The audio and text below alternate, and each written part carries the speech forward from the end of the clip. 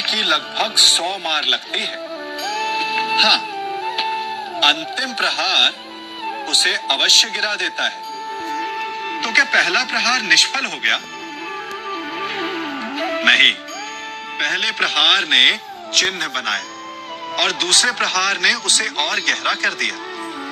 और इसी प्रकार हर प्रहार उस वृक्ष के तने को इतना दुर्बल बना देता है कि अंतिम प्रहार वृक्ष को धराशायी कर जाए।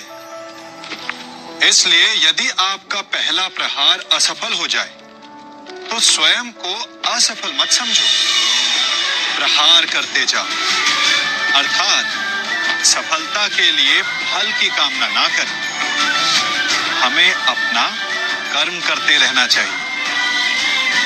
स्वर्ण को भी कुंदन बनने के लिए ताप सहना होता है। हीरे को भी चमक पाने के लिए सांड पर स्वयं को घिसना पड़ता है। इसीलिए यदि सफलता की चमक चाहिए तो परिश्रम करना पड़ेगा और कठिनाइयों का ताप सहना होगा।